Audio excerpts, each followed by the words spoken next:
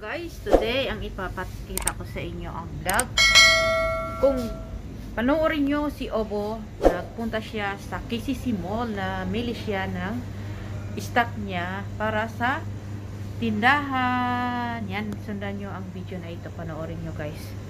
Si Obo, namili sila ni Ann ng mga ah, laman ng tindahan doon sa KCC. So, tara na guys, panoorin nyo na. Huwag nyo kalimutan guys, mag-subscribe and like and share. Si Vlog Aviasia po.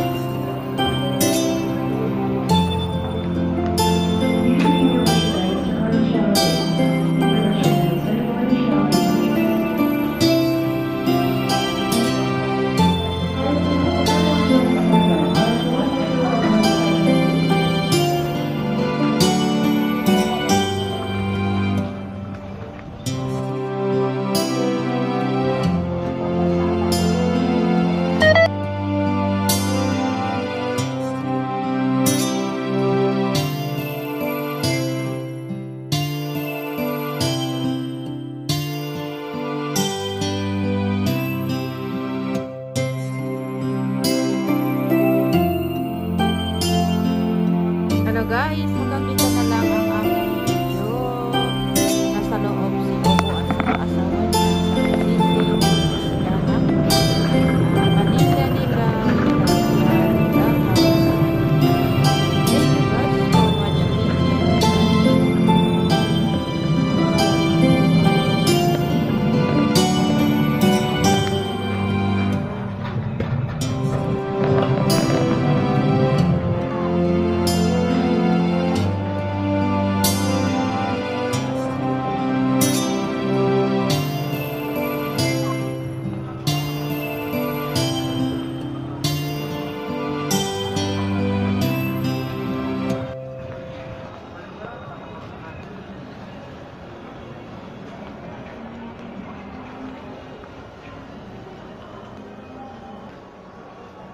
Continue kan? Oh ya, tampil Oh